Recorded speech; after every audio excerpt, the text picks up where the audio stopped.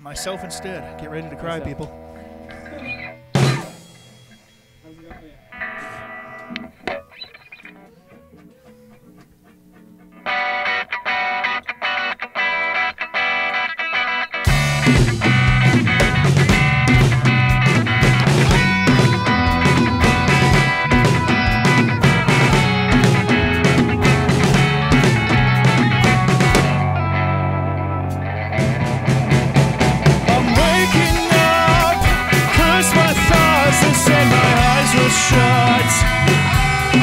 shall you keep the day?